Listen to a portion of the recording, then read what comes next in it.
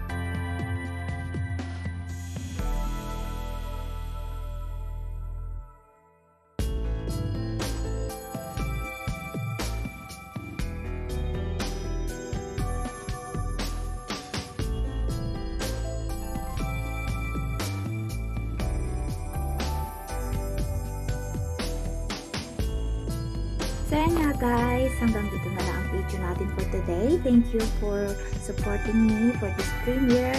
Shout out po sa Team Puso at mga YT friends ko dyan. Thank you, thank you so much sa lagi niyong pag-support guys. God bless po. Bye-bye!